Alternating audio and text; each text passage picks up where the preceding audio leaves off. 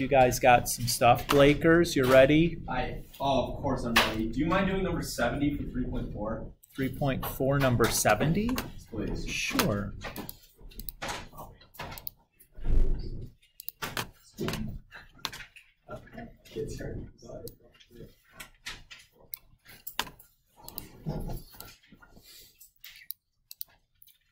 So it says let g of x equal e to the cx plus f of x, and h of x equal e to the kx f of x, where our f of 0 is 3, f prime of 0 is 5, and f double prime of 0 is negative 2. Find g prime of 0 and g double prime of 0 in terms of c. Okay. So g prime of x is going to be e to the cx times c plus f prime of x. Okay. Well, I know that then g prime of 0 is going to equal e to the c times 0 times c plus f prime of 0.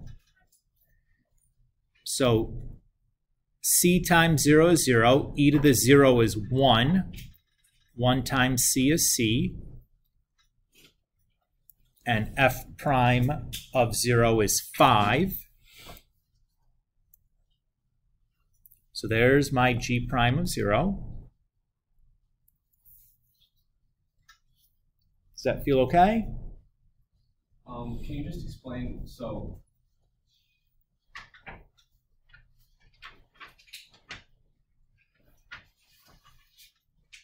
Okay, that makes sense. Okay. Uh, if we wanted to do g double prime of x, then it's going to be c times the derivative of e to the cx. Well, the derivative of e to the cx is e to the cx times c. And then it'll be plus the derivative of f, which will be f double prime of x. Oh, okay. So g double prime of 0, c times e to the c times 0 times c plus f double prime of 0.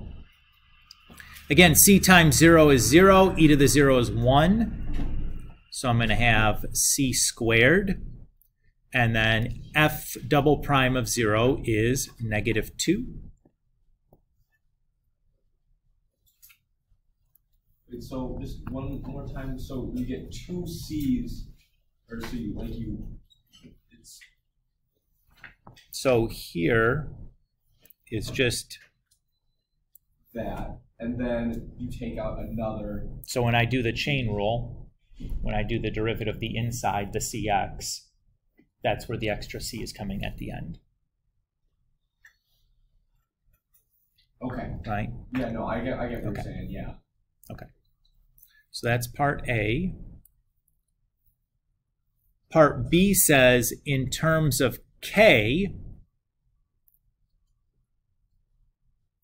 find the equation for the tangent line to the graph of H at the point where x is equal to 0. Okay, so for the tangent line, I'm going to need two things. I'm going to need the point. So I'm going to start with h of 0. So e to the k times 0 times f of 0. So that's going to be 1 times 3. So the point that I have is the point 0, 3. Everybody's okay with that? So my slope then is going to be h prime of 0. Actually, let's just write it as h prime of x first, and then we'll plug the 0 in.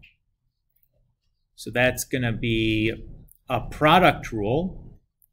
So I'm going to have the first function times the derivative of the second function plus the second function times the derivative of the first function, and to take the derivative of e k to the x, or I'm sorry, e to the kx, that's going to be e to the kx times the derivative of the inside, which is just k times 1.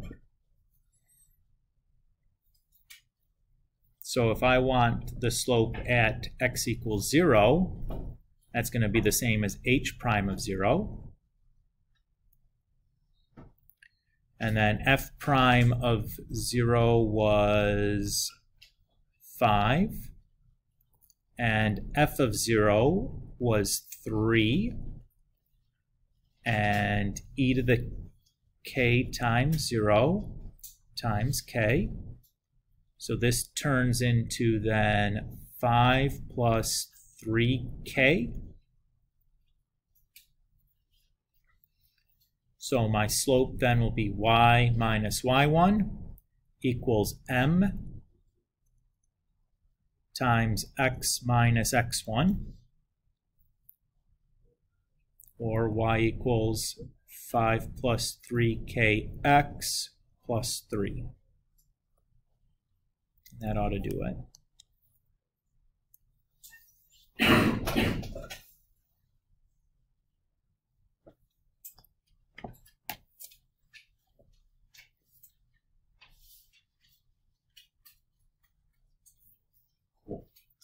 Does that feel okay? Just some stinky algebra, right? Luke? Yeah. Um, do you mind cranking out number 35? Same section, 3 Yeah, 4? Sure. 35, you said? 35, yep. Okay.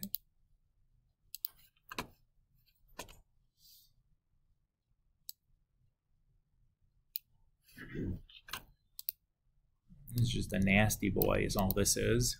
Um, so I like kind of like separated that into like fx, gx, stuff like that. Mhm. Um, so my f of x, which is going to be the cosine of one minus that, and then g of x, I had that inside, and then I separated the inside into the derivatives of one minus e to x. That sound right? Or is that like So you're basically doing that, right? Yeah. Okay, I love it. So y prime then is going to be f prime of g of x times g prime of x. And g prime of x is going to be uh, k of x times h prime of x minus h prime of x times k of x. Oops prime over k of x squared. That looks good. Let's start filling these in. So derivative of, co of cosine is negative sine, negative sine. Uh, the derivative of h of x is just going to be negative e to the 2x times 2 and the derivative for k of x is just going to be positive e to the 2x times 2. Is that okay? And yeah, those are chain rules, but it just feels like at that point I change that chain rule in the head. It just gets more confusing to keep writing as like compositions inside a composition inside a comp. Just like, ugh, I can do that. Okay, uh, so plugging in time, so I'm going to have negative sine of 1 minus e to the 2x over 1 plus e to the 2x times the quantity, uh, 1 plus e to the 2x times negative 2 e to the 2x over um, let's see, where do I have h of x? Uh, 1 minus e to the 2x times positive 2 e to the 2x. Oops, 2x. So that parts can just reduce. And I can just take this stray negative sign here and cancel it with that one. So I would just write this as sine 1 minus e to the 2x over 1 plus e to the 2x times 1 plus e to the 2x over 1 minus e to the 2x and call her good. So, Oh! What did I do here? um, I did not put these in the right place. I'm my massive apologies here, people. Mr. Kulick just had like a minor brain hemorrhage.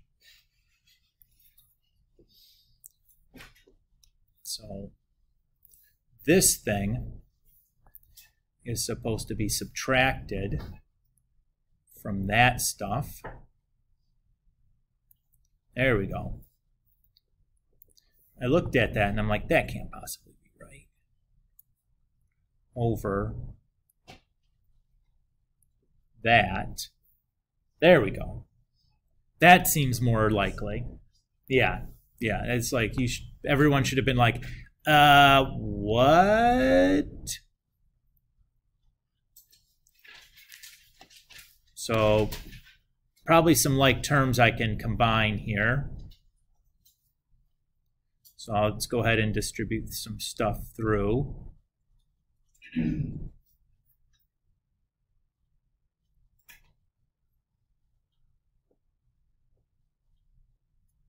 would it be okay just like that as the final answer? Um, depending on the instructions, probably.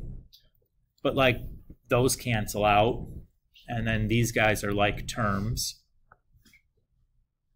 So I can make that quite a bit nicer.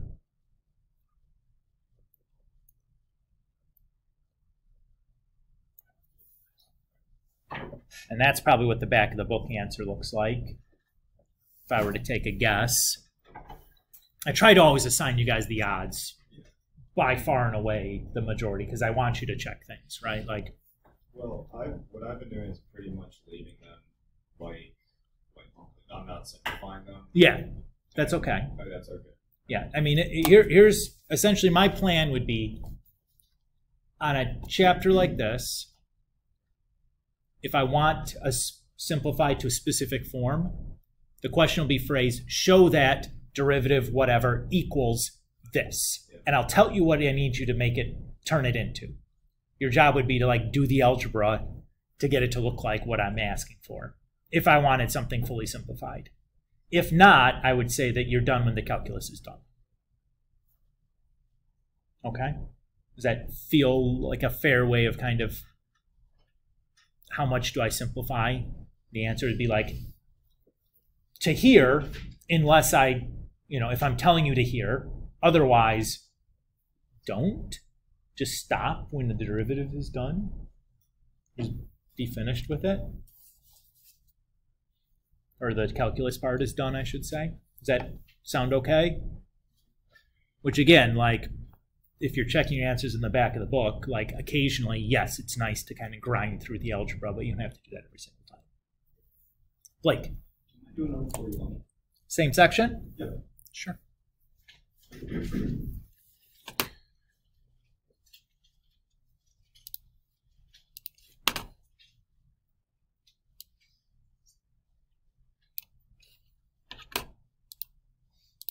Well, that is so little.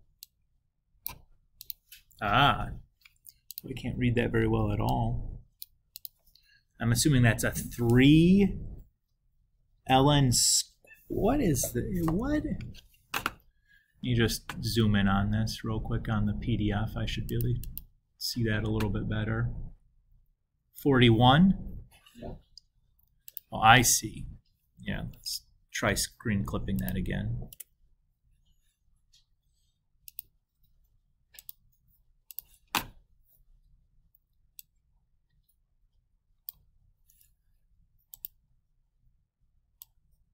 There we go. That's much better.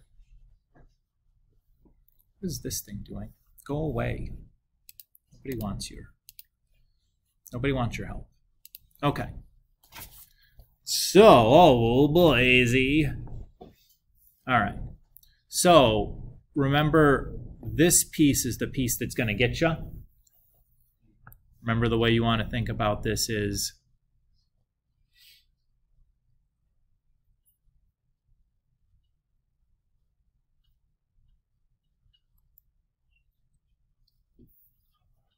is that way. So my outer function is x squared. The next innermost function is sine of x. And then inside of that function is e to the x. Inside of that function is another x squared. And then inside of that is sine x. and I'm just going to pretend this is a y here because I don't want, I already used f, and I just don't want to go back and change all my letters now, so I'm just going to pretend that's different. The nice thing, though, is that this that y is just f of g of h of i of j of x.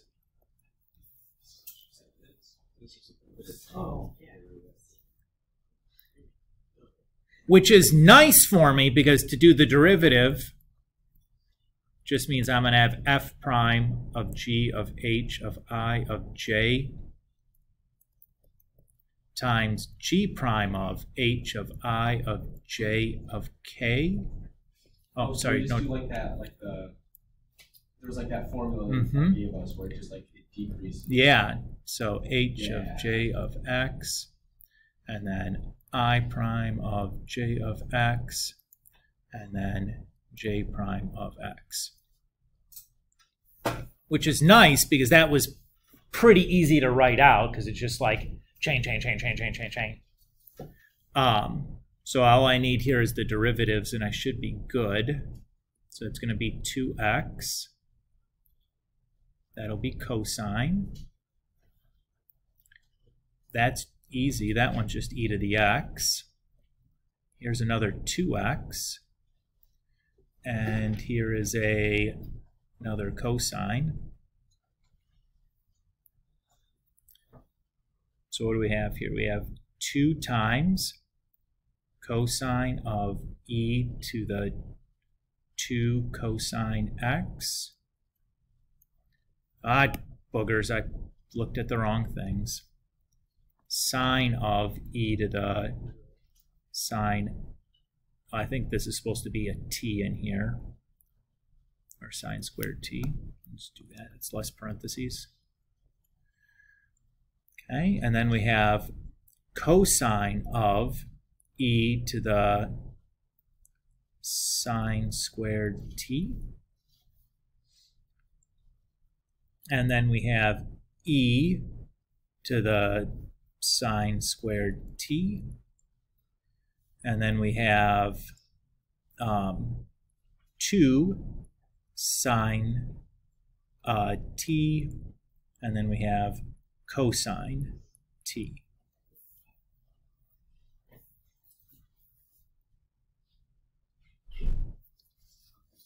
I think that I think that does it. So it's just that um, it's, it's just you can you can apply that formula for as many um shape as you. Yeah, you can just keep chaining and chaining and chaining and chaining and chaining and chaining. And just like you lose one out of the composition each time until you get until you get down to Yeah. yeah, you're- it's just like a what is that? That's five chain rules or something that are linked all together. There's probably a sneakier way of doing this since it's like that sine to the t is in there, kind of sine squared t is in there twice. yeah. there's probably a sneaky way of like, oh, if I think about this, do the derivative of this, and then I can just apply it inside of the other one or something. But this seemed obvious and wasn't too time consuming, so I just went bulldoze straight ahead as a like a bunch of chains all together. As it seemed like that would be the what you would want to do rather than some sneaky shortcut. Yeah. and this wasn't gonna, I could see this wasn't gonna be too, too bad. Um, once you had it written out, like the, the toughest part was probably seeing this and getting every, Yeah. getting like the composition correct. Huh. But if you got that far, you should have been, Yeah, I was just playing with this. yeah, it should have been okay. Because the chain rule is actually an easy derivative rule to use. It's just getting it, everything in the right places. Paul? I was just gonna ask if we were ever gonna learn something that would like make this so we didn't have to do water chain rules. Because it's probably like as simple as solving one of these problems. Um, there is some stuff that we'll look at in 3.6 that can make some problems that are really complicated much less complicated. So there's there's another like kind of shortish cut coming, um, but it doesn't always for some of these chain rule things it doesn't work great. But it can if you have something with like oh, this has like a quotient, like three product rules and like two chain, like you can really make a dent in something like that with the technique we'll see in 3.6. Um, Jack? Um, uh, would you mind doing number twenty-one? I think I messed up something. Sure.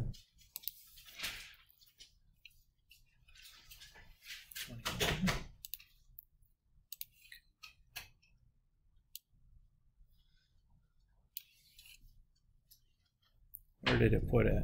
That wasn't at all where I had had my cursor last. I think sometimes this thing just is trolling me. 21, you say? Yep. All right, I screwed something there. Just 20.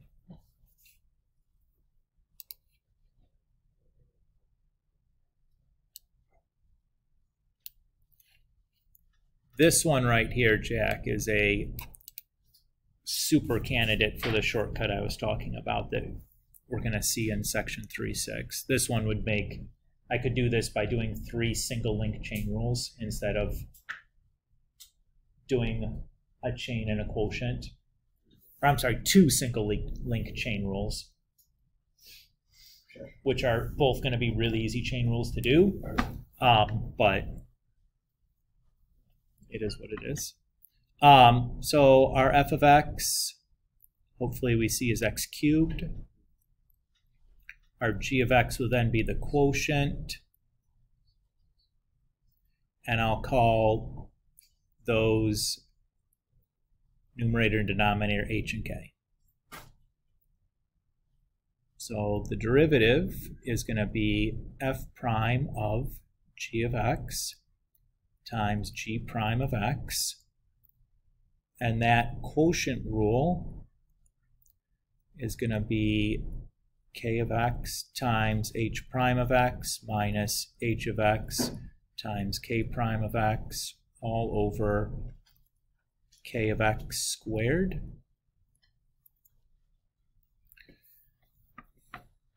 So f prime of x is going to be 3x squared. Um, and then h prime of x is, was that 2x? k prime of x, also 2x. So I think we're good now. So I have 3, and then x squared plus 1 over x squared minus 1 squared times um, x squared minus 1 times 2x minus x squared plus 1 times 2x all over x squared minus 1 squared. And again, I can simplify this numerator. That'll just come out to be negative 4x. Can you do that in your head? That's the advantage of being a math teacher. You just take my word for it. I don't want to write it all down.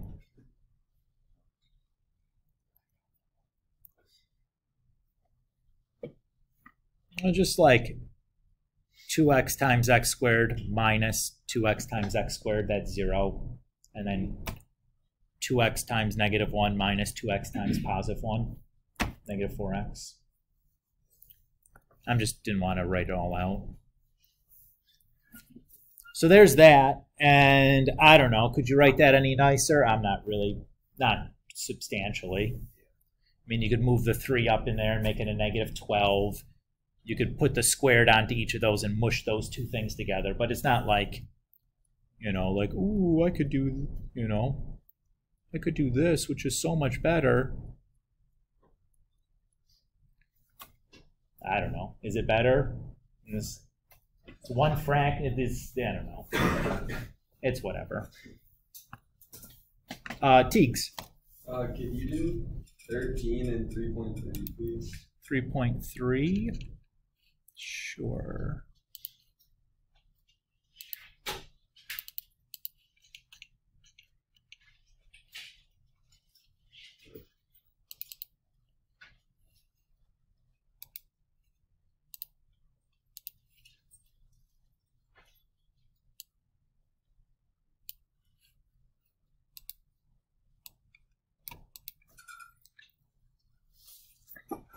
All right.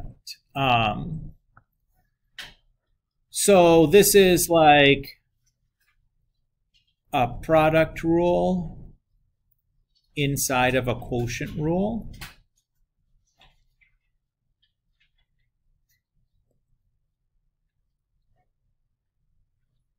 And maybe we'll just call this stuff k of x. All right, so we'd have the bottom times the derivative of the top minus the top times the derivative of the bottom all over the bottom squared. The derivative of k of x, though, is going to be a product rule. So I'd have um, f of x times g prime of x plus g of x times f prime of x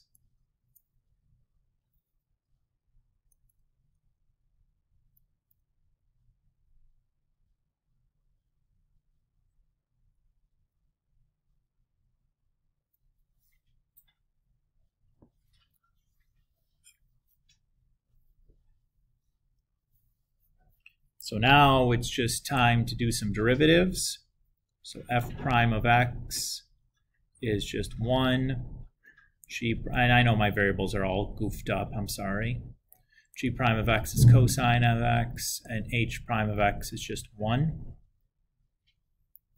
So we have uh, 1 plus t times the quantity t times cosine x plus sine, uh, I should cosine t, sine t times 1 minus um, t sine t times 1 all over 1 plus t squared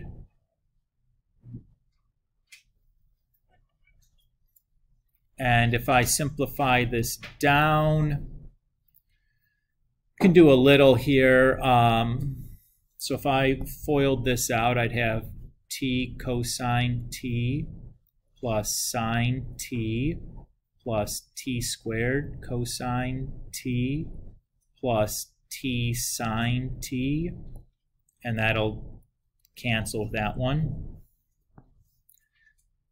And so I have then t cosine t plus sine t plus t squared cosine t all over 1 plus t squared.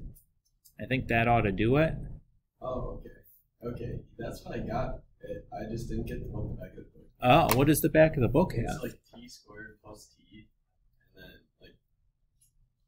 it's t squared plus t cosine t plus sine t. Oh, yeah. So all they did was they grouped these two guys together and factored the cosine off.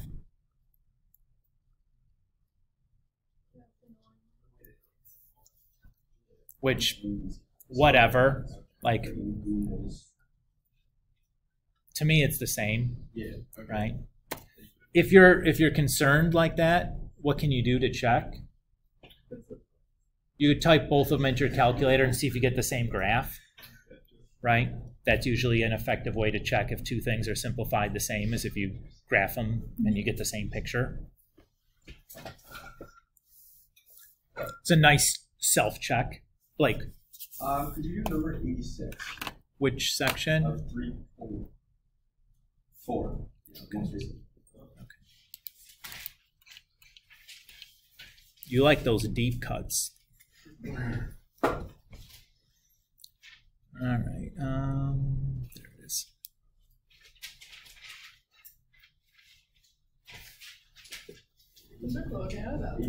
Sure.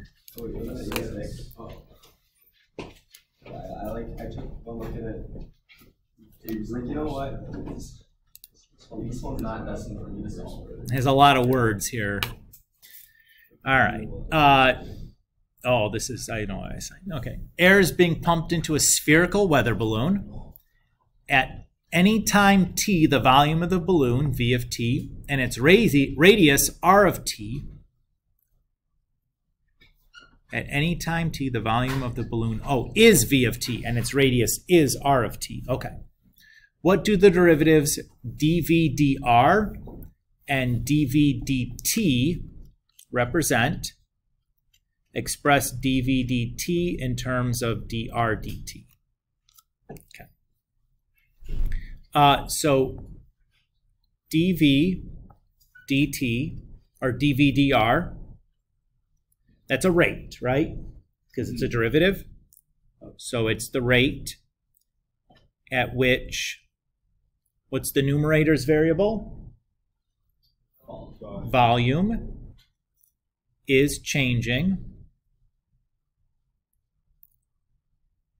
with respect to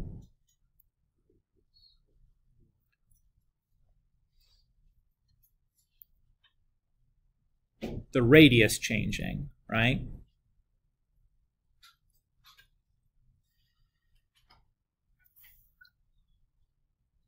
So if you think about a balloon blowing up, you're talking about how much is the volume increasing as the radius increases or as it's deflating, how much is the volume cha- changing as or shrinking as the as the radius shrinks. Uh-huh. Just looking at the rate of those two things changing. And then for D, DVDT, that's just like, um, the rate at which volume is changing. with respect to time changing. Yeah. Yep. Yep. Exactly. So I won't write that one down because we just said it aloud. Uh, so we have the volume of a sphere is four thirds pi r cubed. That's a deep pull from geometry. So if I differentiate that with respect to time, huh? So if I'm doing ddt of v equals ddt of 4 thirds pi r cubed. So that becomes dv dt equals the 4 thirds pi is a constant, so I can just pull that out. And then the derivative of r squared is 3r squared. And then I get a dr dt because there's a chain rule going on here, right? r is really a function of t. So it's like the outer function is this r cubed and the inner function is r of t. You kind of get what I mean? Sure. So really what we have here is like v of t to the first is equal to 4 thirds pi r of t to the third. So this piece is a chain rule, right? So I'd have 3 r of t r of t squared times r prime of t, which is the same thing as dr dt, Okay. Right? Yeah. So that just I just wrote it with the different notations because it asked for it using this Uh, like yeah, with yeah. yeah with these notations rather than primes. Uh-huh. Okay, that makes sense. Yeah. Yeah, I. Okay. So that's that's where that's so that's your answer. It just simplifies down to four pi r squared dr dt. Do you recognize that? Four r four pi r squared. It's the surface area for a sphere. Oh. I did not. I did not notice that. I'll tell you that. Again, that's gee, I've been math teacher for 15 years. You recognize those things. It's like, oh yeah, it's the surface area formula. That makes sense. That the first derivative of volume is surface area. That's not surprising. Just like acceleration, velocity, position, all related. Surface area, volume, length. You know, all yeah, sure. Don't forget about that. What you call me? Okay. Today, we're going to do section 3.5, which is all about something called an implicit differentiation.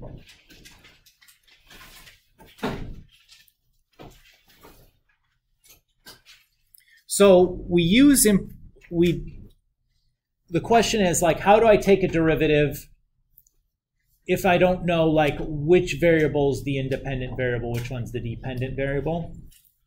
So say like we have the equation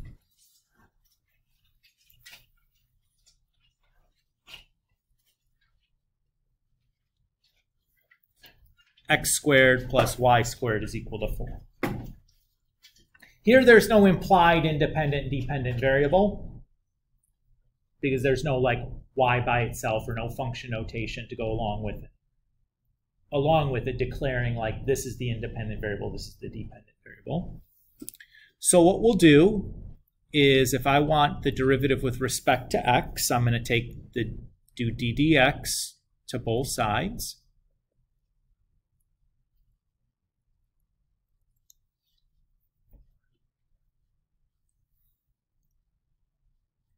And I know that the derivative can just kind of distribute through there. And obviously the derivative constant is zero. What's the derivative with respect to x of x squared? 2x, okay? And what's the derivative with respect to y squared? Is it the constant? No, it's a variable. Okay. Not quite. So remember what we just did here, where when I differentiated with respect to t, because that variable didn't match the variable I had here, I got this dv dt. And again, the I differentiate with respect to time.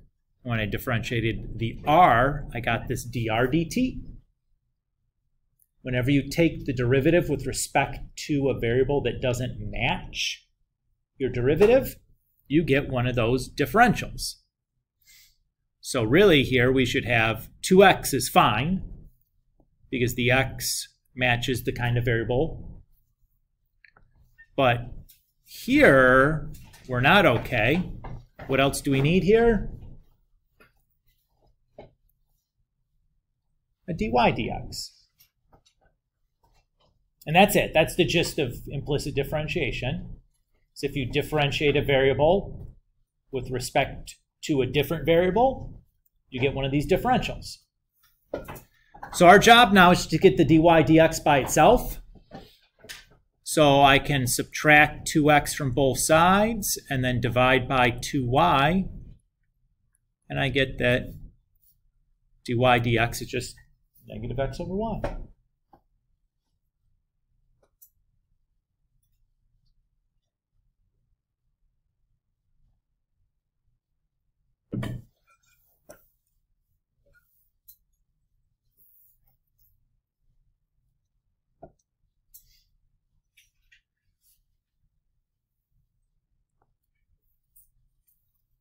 Oh.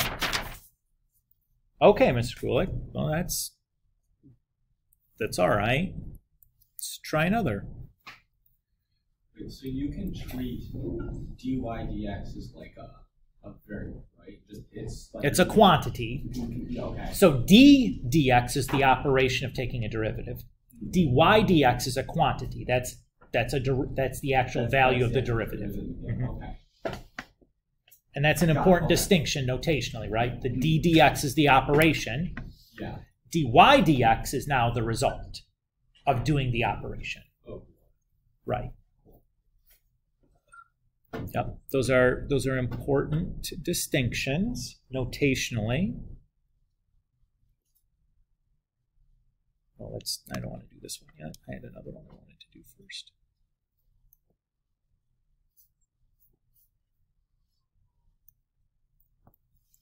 So let's say we have x cubed plus y cubed equals 6xy.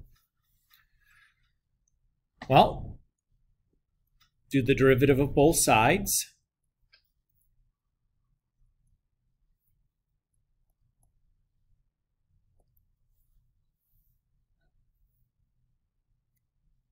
Okay. Uh, that derivative distributes. And then I can pull the 6 out front.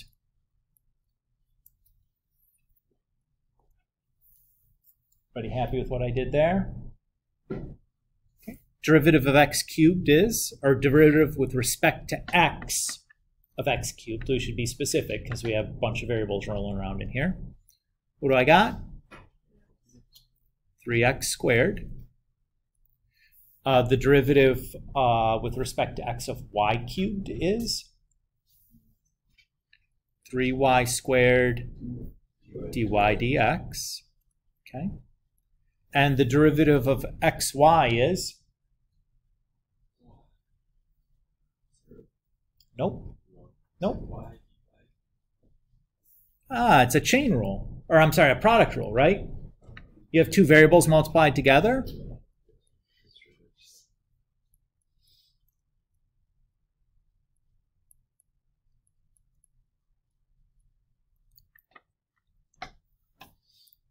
Is everybody okay with what I did there?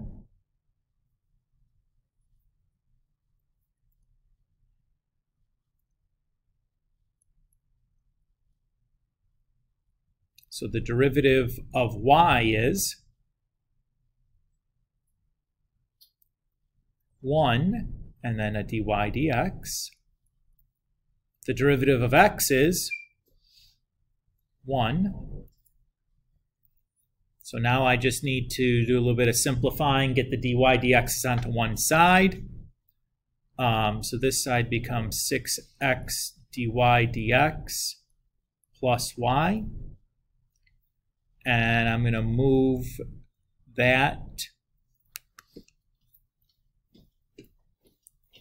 over to this side.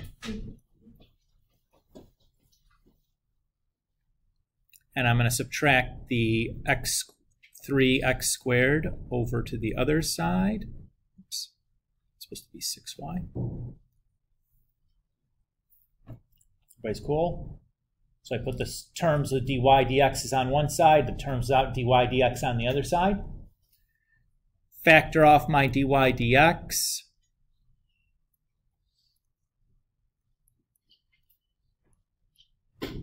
And then I can just divide both sides by 3y squared minus 6y. I'm sorry, 6x.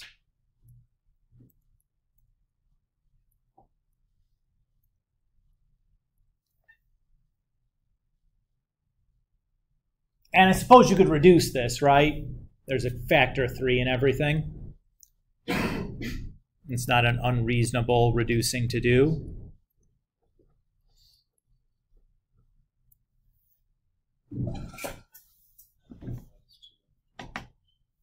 Oh, yeah, thank you.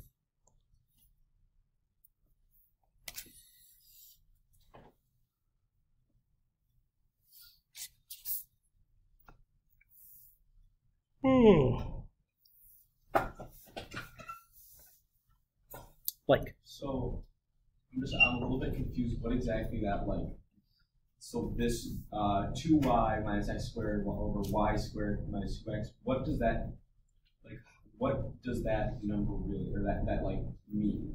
that's going to be how I can calculate the derivative Okay. at but or the slope of the tangent line at a specific point here, though, because I my derivative is in terms of x and y. Okay, I'd need the entire point to plug in rather than just the x coordinate. okay, Does that that sense. feel yeah. good? Yeah. But it still does the same thing as the derivative. It's just still It's still, it's still. slope of a tangent line. It's still a derivative. Yep. It just now it's defined in terms of two variables instead of one. Okay. Because in the original problem, there's no independent and dependent variable specified. Right? To separate that to get the y by itself at the beginning, maybe is not even realistic to do. Right? The kind of clever factoring you need to pull to do that would be, yeah, would be very sneaky. If it's possible at all. Not every polynomial is factorable like that to where you could even do that. So, um, this is this type of an equation here where you have like that like this is called an elliptical curve and not every elliptical curve you can separate the variables for to make like an independent dependent variable so very often you can't which is fine like we can still we can do this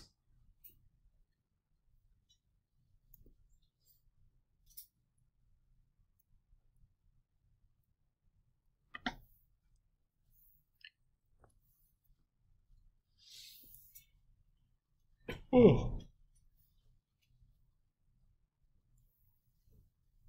All right. Uh, so if we do this one here,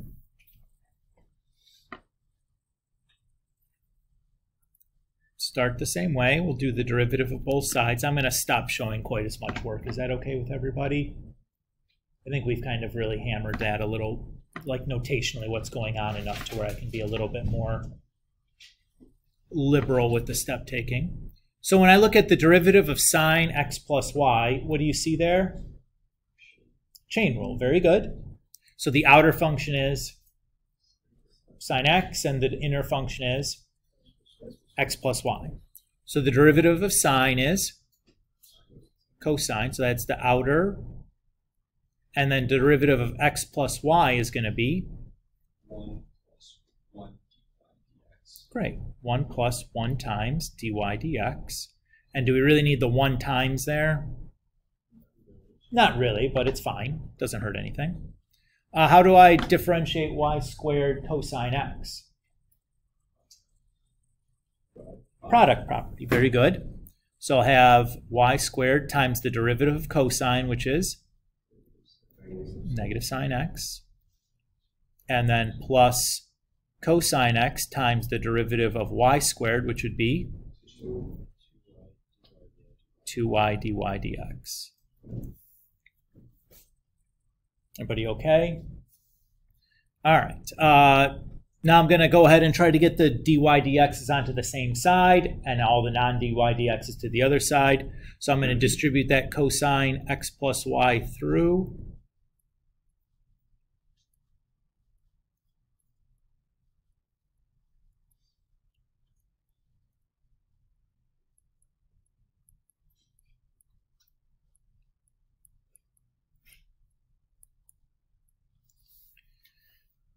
Okay, uh, I'm going to subtract that 2y cosine x dy dx over to the other side. And I'm going to factor the dy dx off.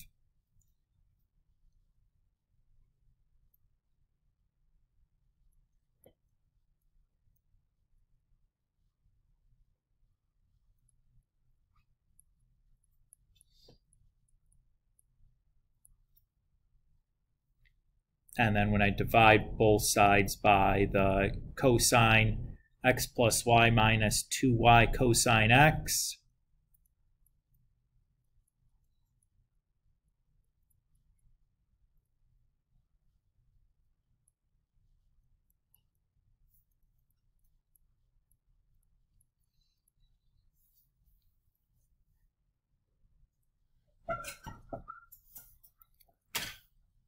get that. Any simplifying I can do here? I can mess with the negatives a little bit, but that's as good as I can do, right? If I divide a, a negative through, that makes everything in the numerator positive.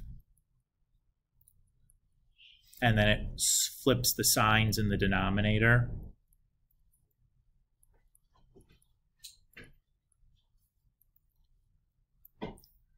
But really, the previous one would have been fine, right? Still the same thing. Not significant simplifying that happened there, just messing with some negative signs. Whoop dee doo doo. All right. Mr. Kulick, this doesn't seem really any different than what we've been doing. It's kind of the same thing, right? Notice there's new new derivative rules being introduced here. Um, you're right.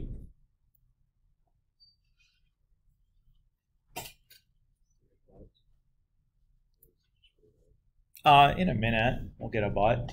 But let's look at this one. What are we looking for here? The second derivative. Yeah, okay. Um, for this one, I'm going to use the prime notations instead of the ddx notations just for like a change of pace. Um, sometimes that'll be more convenient notationally to use than the ddx's. Um, but I just want to basically show you the how to do it both way or what the notation looks like both ways. I would never require you to do one way versus another. Teagues? Um, in the in the solution, is the y squared sine x a negative? Uh, well, I, I here, yes. In the simplified version where I divided by negative one, Oh, no. yeah.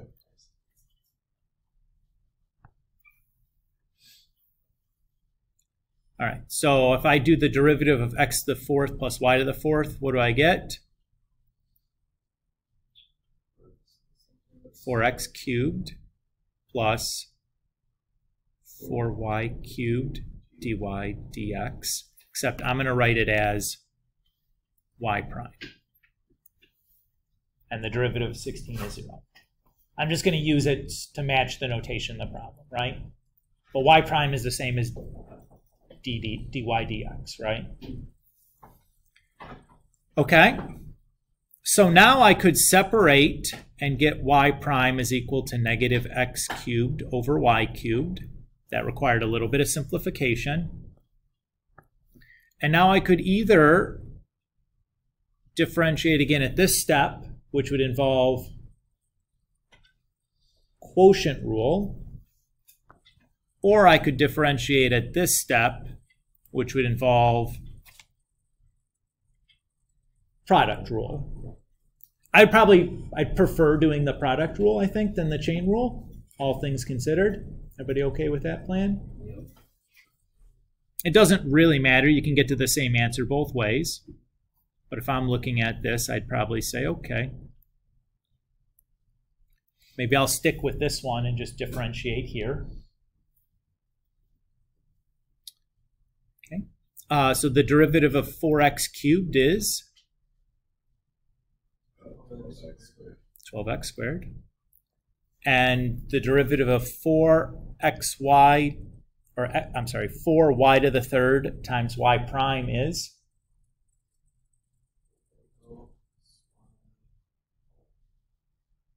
It's a product property. So I'm going to just pull the 4 out front.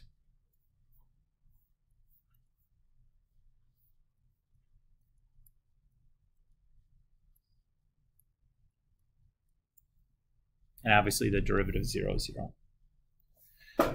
Okay. Um, so the derivative of the first derivative is second derivative. Everybody's okay with that? The derivative of y cubed is 3 where y squared times y prime. Is okay there? Now, notice in this piece where I have a y prime times y prime, does that give me y double prime? No, that's y prime squared. Okay, just to be clear, that's an easy notational mistake to make. Um, so I'm going to get the y double prime by itself. So I'm going to subtract the other pieces to the other side.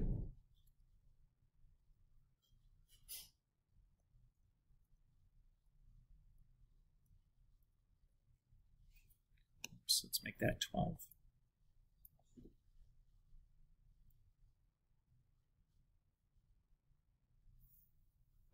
Okay with that? And then I'm going to divide by the um, 4y cubed.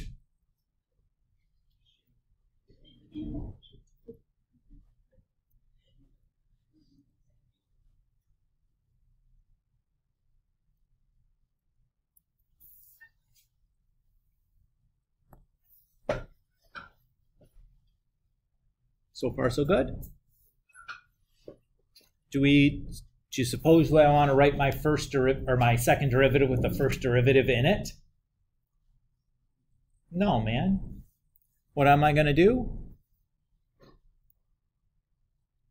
Make a substitution, because I already know what the first derivative is equal to. It's negative x cubed over y cubed.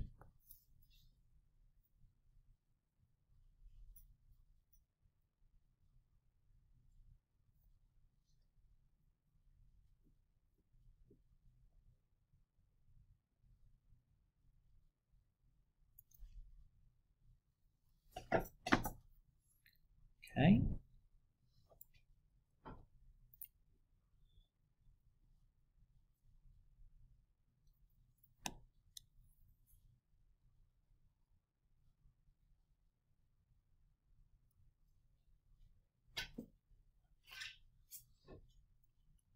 When I have an exponent of an exponent, we multiply. So negative x cubed squared becomes positive x cubed to the sixth and y cubed squared becomes positive y cubed to the sixth.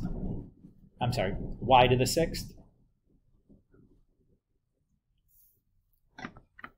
Notice here I can do a little bit of reducing. I'm going to get rid of the fraction inside of a fraction by multiplying the top and bottom by y to the fourth.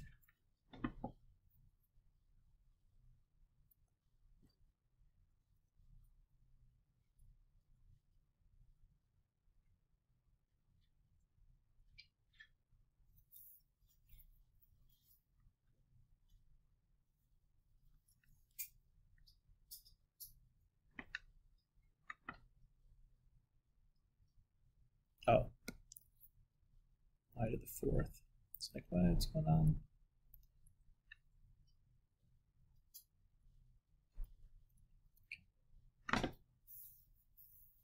Everybody okay there? But there's one more very sneaky piece of simplifying that Mr. Kulick's going to do now. That's actually going to make this relatively significantly more simplified. Notice in the numerator I have a greatest common factor of 12x squared. Sorry, uh, so I dropped my negative here. See this? Forgot that. Let's make it negative 12x squared.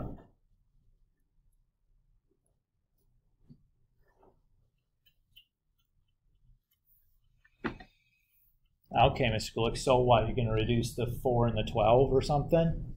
Uh-uh. Well, I'm going to do that, but uh-uh. What's y squared plus x, or y to the fourth plus x to the fourth? 16. What? Why is that 16?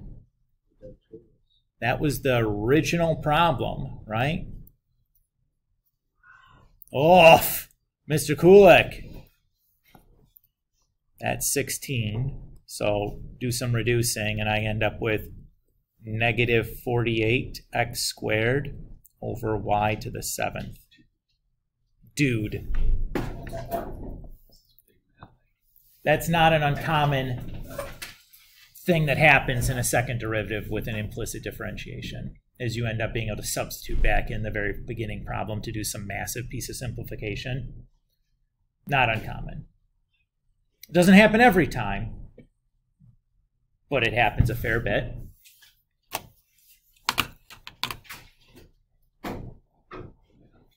Yeah, math. All right. Um, the last thing that we have in section 3.5 is we have a new set of derivative rules for the inverse trig functions. Don't get that excited.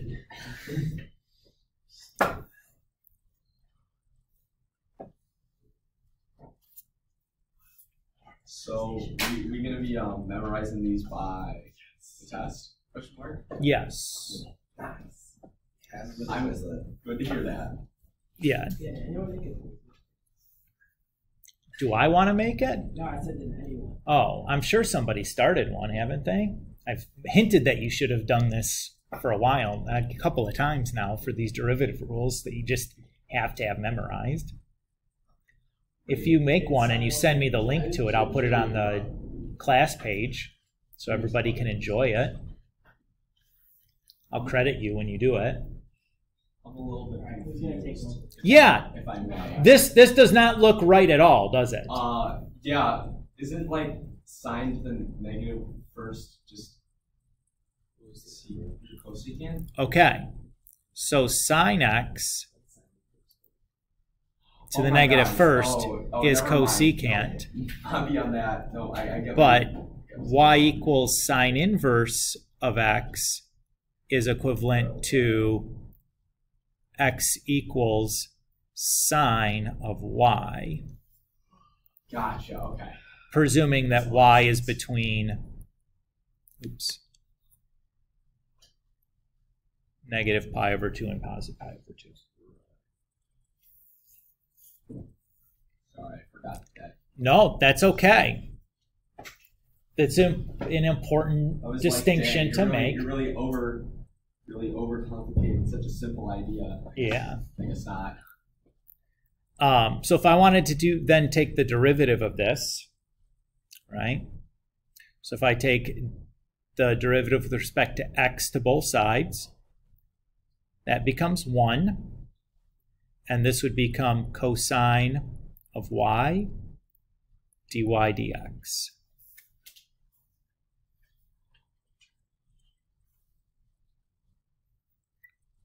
and I divide both sides by cosine y.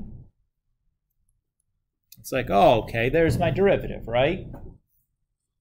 The problem is our function was in terms of x, so our derivative should be in terms of x, not y. So let's go ahead and switch that out then. So note, if y is stuck in between negative pi over 2 and positive pi over 2. What quadrants are that? Are those in on the unit circle? Four and one. Great. And in quadrants 4 and 1, what is the value of cosine? Uh, positive, positive.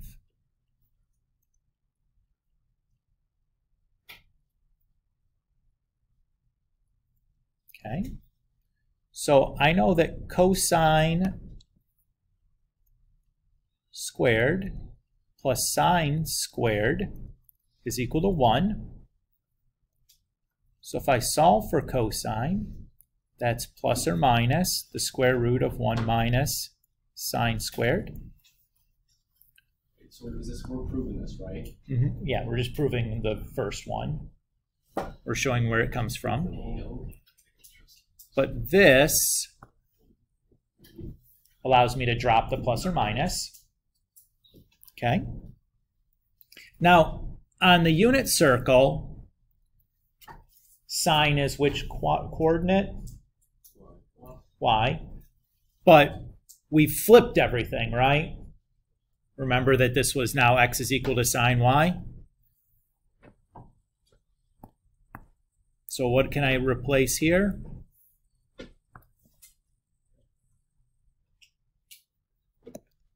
So that can just become 1 minus x squared. So what do we have here? dy dx was equal to 1 over cosine y and I know cosine y is equal to 1 over square root 1 minus x squared.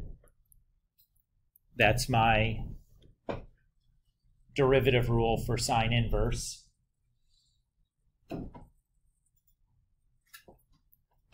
Woof, Mr. Kulick. Yeah, just memorize these. You don't have to derive this in an AP setting. Like, good luck with that. You don't have enough time. Yeah, of course.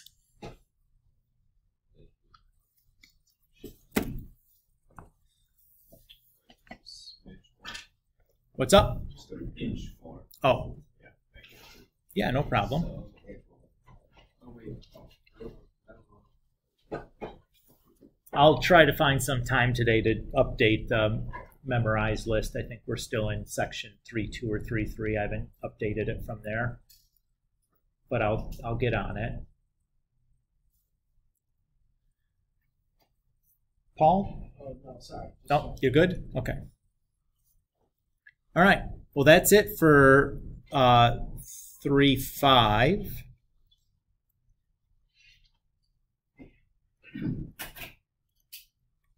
I am going to start 3 6 here. Well, maybe. Yeah, we'll start 3 6 here. Um, with the intention that, or I'd like to, anyways, do a homework quiz on Friday and then just deal with some questions from you guys and not continue on lecture wise on Friday. So I'd like to kind of keep going here today. That sound okay? Homework quiz would be just up through chain rule stuff. There's going to be no words. It'll just be like take the derivative of this thing. So all you need are the derivative rules. Should you have those memorized? Yeah. Teagues. So does that mean the test is gonna be on Tuesday? Uh, well, we haven't finished 3 6. We Won't finish it today.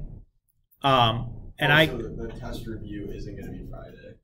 No. Okay. No, no. We'll just deal with some questions and stuff. I just want to have. It feels like we just need a day to breathe.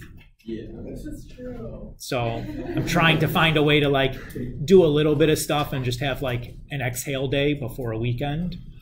Really appreciate that. So like, No. No way, no way, no You way. wanna, you wanna have that hanging over you that entire like. Yes. Yes, yes, yes. I already have like You five guys are- times on Monday and Just Tuesday. some Sunday, it'll be fine. all right. Um, so three six, I hinted at that there's a nice shortcut coming. I don't know if we'll get quite to seeing that today, but um, we have. Well, I suppose I can make that happen today. So we have these two derivative rules. So the derivative of log base b of x is going to be 1 over x times log, or natural log of b. And then, so obviously the natural log of x would be 1 over x times natural log of e, which is just 1, so just 1 over x.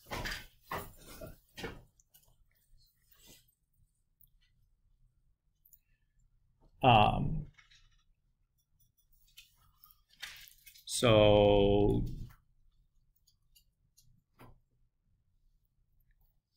So let's say we have y equals the natural log of x plus 1. What do you see here? It's a chain rule, right? So the outer function is the natural log, and the inner function is just x plus 3. So y prime is going to be the derivative of f of g of x times the derivative of g of x. And we know that the derivative of f of x is 1 over x. And the derivative of g of x is just going to be 1. So we have then 1 over x plus 3 times 1, or just 1 over x plus 3.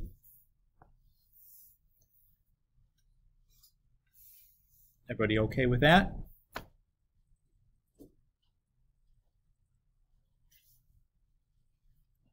Okay. Um, let's get down to this one. Just cut right to the chase. If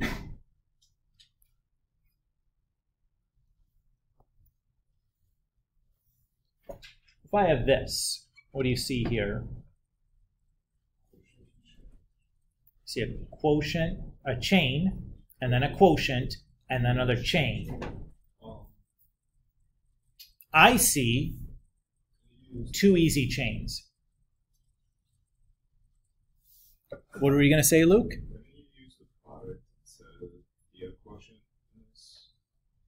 Uh, I'm not going to do either, really.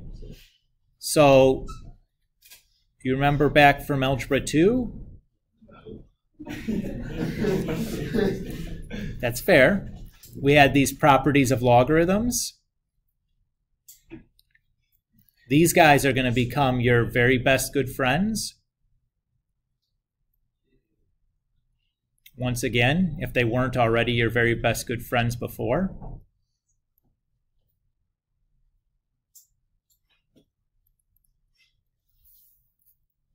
Remember, these were the power quotient and product properties for logarithms. When I look at this problem, I would begin by simplifying or expanding this logarithm because then taking the derivative is much easier. Uh, so when we expand a logarithm, the order of the properties that we use, we do the quotient property, power property, or product property, and then power property for logs. So if I apply the quotient property first, I'd have that. There's no product properties going on, but there's a power property. Remember that the square root is the same thing as a 1 half power.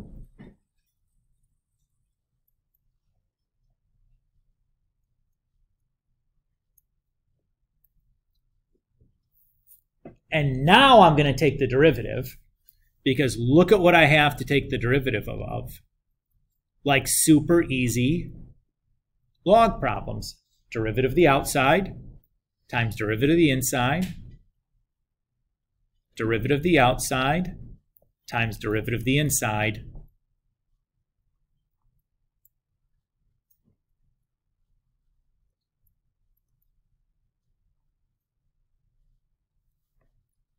Done. You make some common denominators if you want. I'll pass.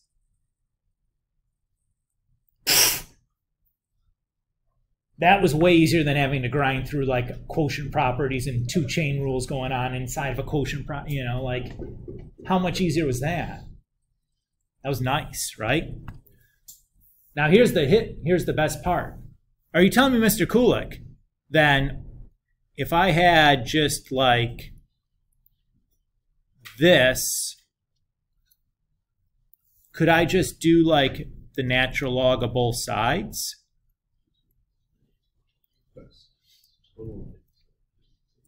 And then differentiate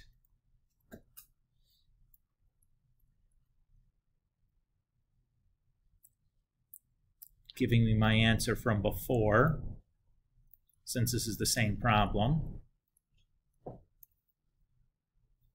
And then I can just multiply the y back over.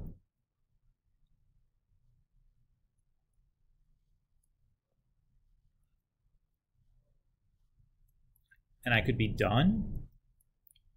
Like, is that, that seems easier than dealing with like the quotient and chain rule in there.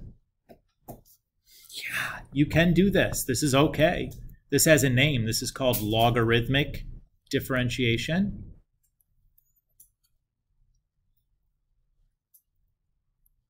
And the idea there is that you can replace